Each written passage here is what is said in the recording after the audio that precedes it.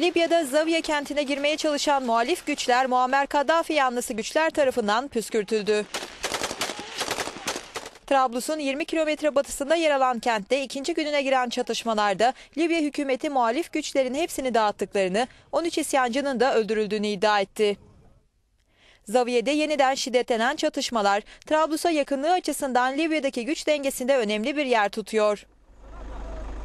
Misrata ve Zilitan'da da 6 muhalifin öldürüldüğü bildirildi. Tüm yaptırımlara rağmen ülkeyi Tunus'a bağlayarak destek akışıyla ayakta tutan ana yolunda kapandığı bilgisi geliyor.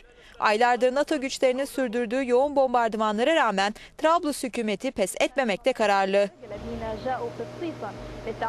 Türkiye'den gelen korunma teklifini de reddeden Kaddafi, ülkedeki petrol kaynaklarını yabancı güçlere bırakmayacağını açıkladı.